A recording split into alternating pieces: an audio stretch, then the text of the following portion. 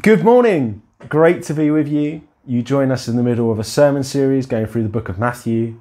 In particular, we're looking at the Sermon on the Mount, the greatest sermon ever preached, where Jesus calls Christians and those that believe in him to live a life of radical devotion, where in every area of our life we are seeking to put him first and to worship him. This is in tune with when Jesus was asked, What is the greatest commandment? And he responded, To love the Lord your God with all your heart, mind, and soul. And the Ser- Sermon on the Mount talks into a range of topics about how we do this. How do we practically live out a life of devotion in a number of important areas? And the two topics we're going to be looking at this morning are wealth, which encompasses money and possessions, and also anxiety and worry. These are two prominent themes in Scripture, and also they're often themes that are linked to one another. And we're going to talk about that a little bit later. Wealth, for example, is mentioned in Scripture. You may have heard the story of Zacchaeus. Zacchaeus was a tax collector and he was taking money off people that extra than he should have been collecting. He was essentially stealing from people. And Jesus called him down from a tree, went to dinner with him, and said to him, Turn around from your sinful lifestyle where you are pursuing money, where you're stealing from people, and instead turn to me and have your true reward and your riches. And we see a radical transformation in Zacchaeus' life. He pays back all the money he stole, but he also gives more than he stole back. That is the liberation of coming to know Jesus and the generosity that comes with that. We also see a story about the rich young ruler. He was someone who came and asked Jesus, What must I do to inherit eternal life? Jesus says to him, You know the Ten Commandments. You must not steal, you must not commit adultery, you must not murder, etc. And the rich young ruler says to him, I've done all of these things. Jesus says to him, What about your wealth? Are you willing to give that away? And he went away despondent. We see the choice here of choosing to hold on to our wealth, choosing to focus our energies, our resources, and our heart in towards that. Or instead, like Zacchaeus, choosing to be liberated and live our lives for God and being generous with our money as a result. We also see anxiety is mentioned in Scripture. One of these examples is Proverbs 12, verse 35, where it talks about anxiety weighing the heart down. We've all experienced worry and anxiety, particularly in these times as we're in the midst of this crisis. And we know that it can have the impact of becoming all consuming, can become our focus and our devotion not necessarily because we want it to be, but that's just the reality of our lives. Sometimes that's financial, financially caused. It's anxiety about how we're going to have enough money to pay our bills, to meet our living costs. And there we see the two are linked. But there's an amazing message this morning from this passage that we're going to read from Matthew 6, verse 19.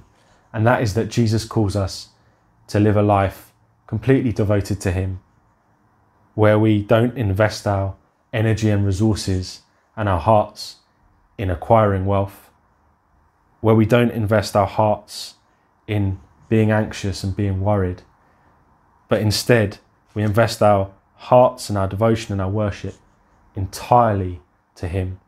And as a result of that, we will see true reward. We will see reward eternally as we spend eternity with Him in heaven. But as we heard last week from Duncan, we will also be rewarded according to how we have lived out these things in our lives here. And that's a really exciting message for all of those who can call God our Master and King. So I'm going to read from verse 19. Do not store up for yourselves treasures on earth where moth and rust destroy and where thieves break in and steal but store up for yourselves treasures in heaven, where neither moth nor rust destroys, and where thieves do not break in or steal. For where your treasure is, there your heart will also be. The eye is the lamp of the body. So then, if your eye is clear, your whole body will be full of light. But if your eye is bad, your whole body will be full of darkness.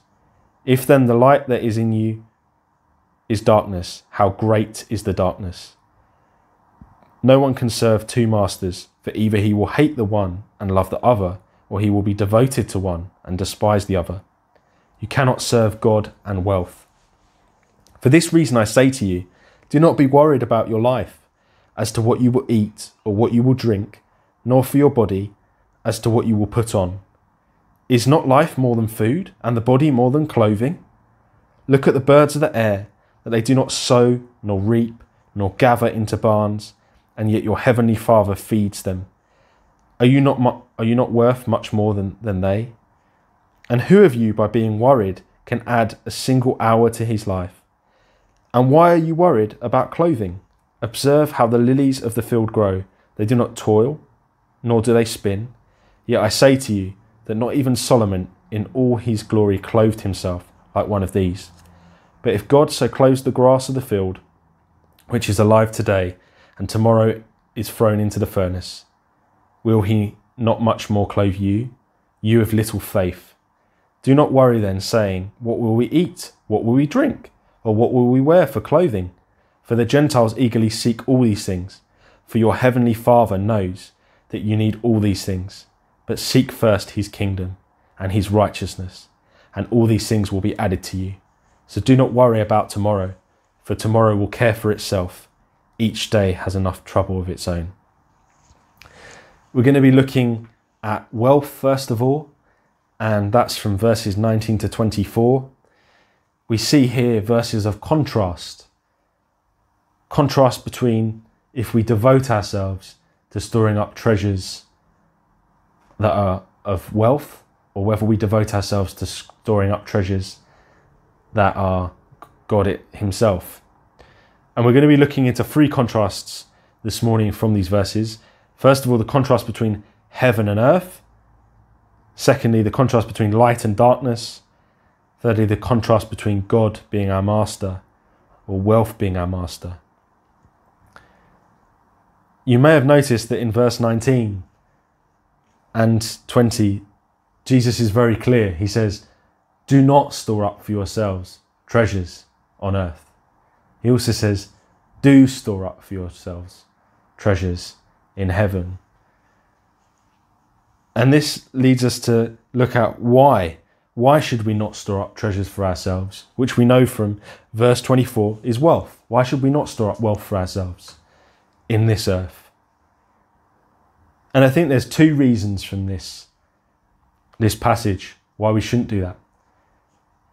The first is in the word earth, that storing up wealth only has a short term shelf life. It's limited. We can't take it beyond this world. Once we die, we can't take our bank balance through. We can't take our collection of cars or our collection of houses. You might say, we, yes, we, we can pass them on to family members, to children, to grandchildren. And that's true in some cases. But even they, it's limited to their lives. No matter what time we invest in storing up wealth for ourselves, it's limited. Limited in that we can't take it beyond this earthly world. But there's also a second reason why we shouldn't store up treasures for ourselves on earth. And that's in the second half of verse 19, where it talks about moth and rust destroying and where thieves break in and steal. This indicates that acquiring and storing up wealth in this world, even in the here and now, it's futile because it's of limited value. It's temporary. It's not long lasting because it's going to decay. That's what moths indicate. It's going to decay. It's going to rust. It's going to lose its value, lose its worth. And sometimes it's even going to be stolen by thieves from us. And I know this to be true. I used to work in recruitment. And recruitment I'd probably describe as the epicenter of a sector that is all about acquiring and storing up wealth. All about that. You're targeted on how much money you, you bring into the company, determines whether you keep your job or not. You're incentivized to bring in loads of money because you get a percentage, you get your commission. And I know that even in months when I did well and I, I made placements and I, I got I received a commission from my company, I know that this this is true. I know that the lump of money that I did get in a in a specific month did decay. Because before I even was paid it, it was taxed. I lost a section for tax. And taxes are good to pay and we should. But it decayed, lost its value. Then by the time it's actually in my bank account and I've paid for jobs around the house, things that need fixing, I've booked the summer holiday, I've got the car repaired, suddenly the the value of that money has significantly gone down because I've spent, if not all of it, most of it. It's lost its value. And I also know to be true from my, my time in that role that as you get a commission lump sum, there's something within you that you have to battle because you desire more. Let's say you got £1,000. Well, you then want £2,000 because you start to think about what could I do with 2000 instead of 1000 Could I upgrade my holiday? Could I upgrade my car? It loses value. And sometimes in recruitment, not known as the most integral of industries, other recruitment agencies can try and muscle in on your deals. Sometimes when you've, you've had a deal go through, they can call up the company and say, We introduced this candidate and get them to send a letter in, and suddenly you, your fee, your fee might disappear. It might be stolen from you by another recruitment agency. I've found in this anecdotal example, but in my life, and I know it, I know Jesus' words to be true, that acquiring material wealth lots of possessions. It's of limited value, even in this world. Things lose their value, they get stolen, they decay. So, do we want to be investing all of our time and energy into something that, even in this world, loses its value? Never mind that we can't take it into the next. So, what is the contrast here? The contrast is storing up treasures for ourselves in heaven. Now, what does it, what is this? What, what are we talking about? Storing up treasures for ourselves. And the first point is that Scripture paints a picture that God, God is our treasure. He is our prized possession. And if we turn to a couple of scriptures this is indicated. So, Philippians 3, verse 7, this is Paul talking, but whatever things were gained to me, those things I have counted as loss for the sake of Christ. Whatever was gain is loss for the sake of Christ. Christ is more important. Also, when we flick to Hebrews, Hebrews 11, verse 26, and this is Moses. This is what Moses thought. Considering the reproach of Christ greater riches than the treasures of Egypt, for he was looking to the reward. We see here that scripture is clear that Jesus, Jesus Christ, is our true treasure. Jesus is our treasure. That if we devote ourselves, our entire lives to Him and to accepting the free gift of grace that Jesus dying on the cross for us, taking our sin and our shame, taking that punishment, defeating death, being resurrected for all who believe in Him, that we might have eternal life but also that we might have relationship with him now. He is the true treasure. And relationship with Jesus is something that can never be robbed from us.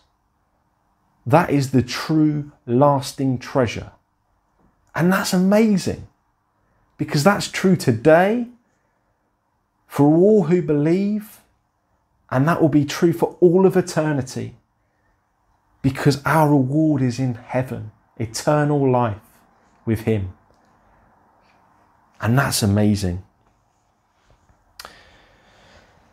But we also see that it's not just about eternal life. As Duncan mentioned last week, there's also a scriptural principle of that we will be re- rewarded according to how we live in today.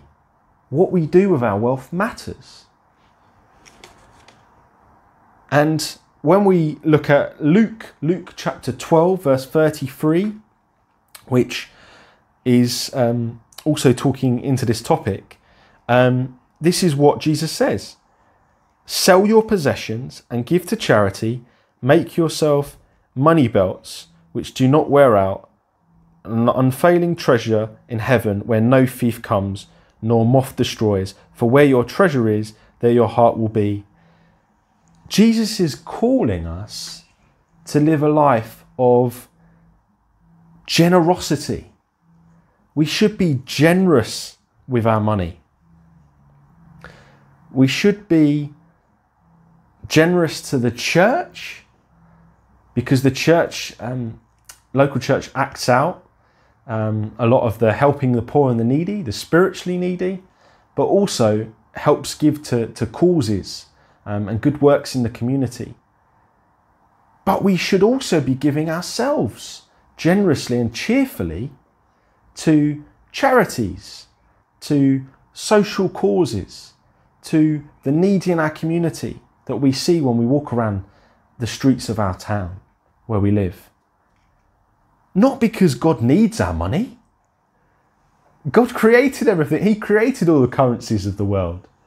God doesn't need our money, but what we do with our money shows where our heart is, shows where our devotion is. Our willingness to part and to be generous with our money shows that we're investing in treasure in heaven because that's where our reward will be. On to the second contrast contrast between light and darkness. In verse 22 through to 23, the eyes are mentioned. The eyes are really important because our eyes on our body act as a focus point. So, what we look at, is where we're focusing in on, is what's captivating our attention. But also, what we set our eyes to is what direction we're heading in. I look towards where I'm going. That's where I want to be. And it's really important that eyes are mentioned here. So I want to ask you a question. What are you setting your eyes on? What are you setting, your gaze on? Are you setting your eyes on how you can get enough money to buy that next prized possession? Are you setting your eyes on how you can increase your bank balance to hit that target? And none of those things in themselves are bad. Saving is, is, is sensible, pragmatic. But when that overrides generosity, which is the call of Jesus on our lives as Christians, then we must think again. Or are you setting your eyes and your gaze on how you can raise enough money to sponsor a compassion child? Are you setting your eyes on how you can raise enough money to give a bit more to the church or to give a bit more to a good social cause? it's important that as Christians we think about this because it will affect our reward in heaven and it will impact how we're rewarded. But most of all, it shows whether light is shining through our bodies. These verses are clear that if what we're gazing on, if what we're thinking about, and our focus is the treasure of God and being received in heaven, then light, light will shine. Life, purity, vitality, vibrance, that will shine through us. The alternative is that if we set our eyes on acquiring wealth and storing that up for ourselves, darkness will flow through us. As verse 21 says, where our treasure is, there is also our heart. And that brings us on to our third contrast that we cannot serve God and wealth. Jesus is very clear that our devotion, when it comes to wealth, cannot be lukewarm. We must either be following God generously and be liberated and free to cheerfully give, or instead money is our master. And that's very important for those of us that are Christians. We must, we, we call God our Saviour, we call God our Lord, Master over us, the one we follow and we devote ourselves to. But we must make sure that our the practical nature of our life lives that out in the area of wealth. So I want to lay some challenges down to all of us. Perhaps, firstly, perhaps you look at yourself and you, you're thinking this morning and you're thinking, I'm not generous at all. I'm not giving my money to any of charity or the local church. I'm, I'm not generous with these things.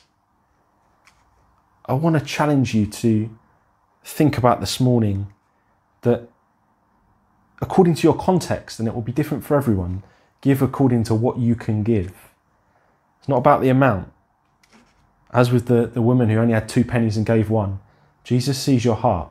He sees what you're, you're giving and what that means to you. But I want you to start today to consider that you should be generously giving because the riches of heaven will far surpass any material wealth that you can have in this world. Secondly, I want to challenge challenge you if you, you are generous, if you are doing good things, if you are generously and cheerfully giving as as Jesus challenges us to do to these things, I want to encourage you to think about how you can be more generous how you can store up for yourself more treasure in heaven. Not to rest on your laurels and to just say, I'm good at this, but to see how you can go above, above that and beyond. And finally, I want to I want to speak to you if, if you're not a Christian. I want to be very clear. We don't want your money. God doesn't want your money the invitation I'll put to you today is to consider investing your devotion and your time, energy, and resources into the true treasure in Jesus Christ, that you might have eternal life with Him. You might confess your sins and turn to Him, because that is the only true, lasting treasure that cannot be robbed from us that cannot be taken, cannot lose its value. And it's also a very, very liberating one.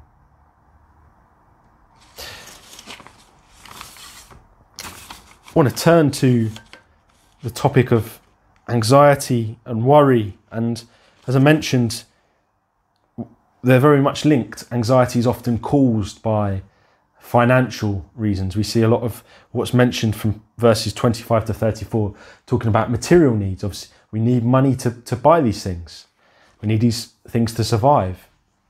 And finances and lack of finances often can cause anxiety and worry.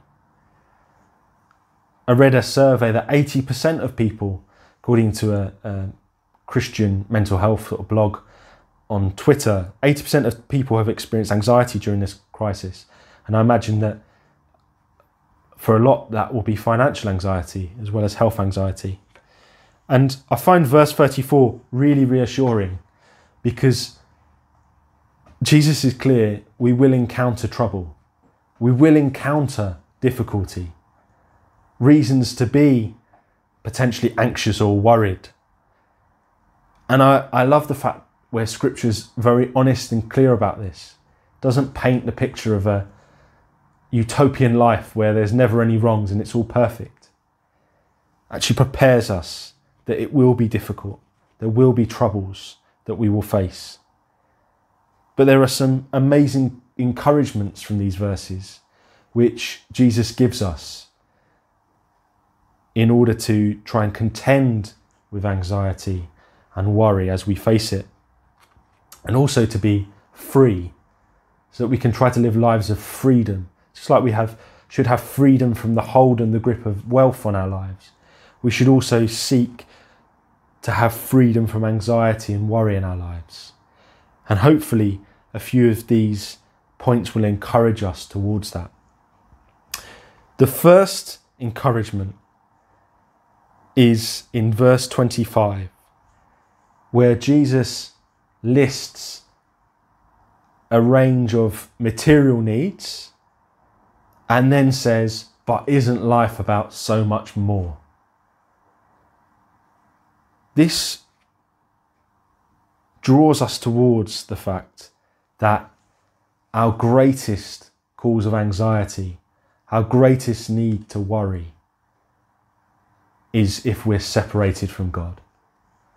Life, we were created for more than just eating, more than just being, existing, and, and, and walking around and working. We were created to be in relationship with God. And because of the fall of man, because of the sin of my heart and the sin of your heart, the wrong we have done, we were separated from God. But for all of, all, all of us who have placed our trust in Jesus Christ, the great gap between us and God has been removed. The eternal separation that we faced has been completely wiped away the greatest need for us to be anxious and to be worried about being separated from our Creator, from the treasure of life, has been, for those of us that have believed and put our faith in Jesus Christ, has been taken away. So that is the first encouragement when we're finding ourselves worried and anxious about the things of life. And it's not to belittle those. We'll come on to the second point, which speaks directly into those. Let's spend some time reflecting on the fact that God has been good to us, God has been gracious and merciful, and He has taken away our greatest need for anxiety and worry. The second point is God is a compassionate provider. Verse 32 is really reassuring. Your heavenly Father knows that you need all these things. God is not ignorant, He is not careless about the fact that we do need food, we do need clothing, we do need shelter, we do need money to pay for these things. He is not ignorant of those facts. In fact, He is a God who cares. And these verses bring out His care for us. They bring out his compassion and his love for us. And when I reflect on the God of Scripture, it's not a surprise because he has been a provider from the very beginning, from when he was the creator in Genesis, when he created the world. He created everything, but he also provided vegetation, plants. He created animals for us to, to eat so that we have food. He created these things so that we could have materials for clothing. All sorts. He is a God of provision. I also like reflecting on scripture. And one of my favourites is the Israelites. How, when they were in the desert, in the wilderness, and God, in his magnificent provision, brought down food for them to eat. Out of the heavens, he brought down food for them to eat day after day. He is a God who has always provided. And I think we can often drift through these verses from 26 through to 30. We can often think, yeah, I know God loves me more than a plant. I know God loves me more than um, grass. I know He loves me more than animals, even a bird. But I think it's important for us to slow down. It's important for us when, particularly when we're feeling anxious and worried, to actually dwell on these processes. Think and pause for a moment how magnificent it is, how miraculous it is that the birds of the air are provided for. Think of how complex and difficult the process of a life, of a lily growing, going through its various stages of life is, of grass, of the field, which is one day grown, the next day not there. Think how much care and attention God has put into these things. How much compassion He shows for these. And the wonderful encouragement is that Jesus says, Do you not know that I care for you more than these things? You are more important than these things. Yet we see the magnificent provision of a compassionate God to these things, yet He cares for us more. So, how much more will He provide for us? And I know that to be true. I know in my life, probably one of the most anxious moments was when my wife Temi, who has anxiety, medical anxiety, she had to stop working. Work became too difficult for her. She needed to take some time out and to rest. And my first thought was, I'm ashamed to say, how am I going to afford? How am I going to afford to live, to pay my rent, to pay my bills? Never mind to have the odd holiday and the odd nice treat with just one wage coming in. That was the worry and the anxiety that gripped me.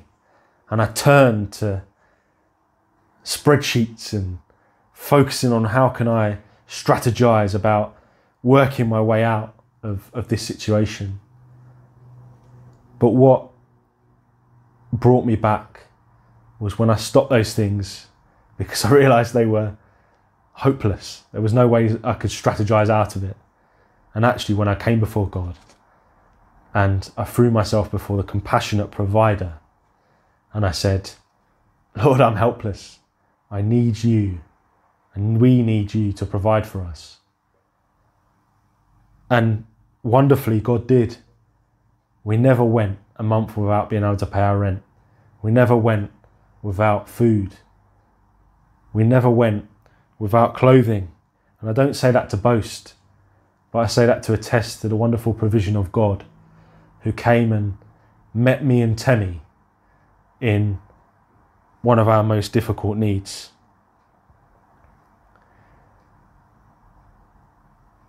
And it's really interesting because verse 27 also talks about actually the futility of worrying. that it talks about and it says, and who of you by being worried can add a single hour to his life? It doesn't help, it doesn't achieve anything. So, actually, for us to allow ourselves to be consumed by anxiety and worry, whatever our need and, and the cause of that is, what we actually need to do is we need to do what verse 33 says, which is also what we need to do with our wealth. We need to devote ourselves entirely to God. We need to come before Him and say, You alone are the one deserving of my worship, my time, and my devotion. And out of these things, God can not only provide, but can bring freedom and bring liberation from anxiety and worry. And it's important that, of course, we believe in medical help and counselors and, and, and all things like that. That's part of God's provision for us. But even within all of that, we must seek first God and seek first His will for our lives. And in doing so, God will not only provide, but He will take our, our worry and our anxiety away from us. So we see that Jesus is clear across these passages that He alone is the treasure. He alone is the treasure that cannot be robbed, cannot be taken, does not decay, does not lose its value.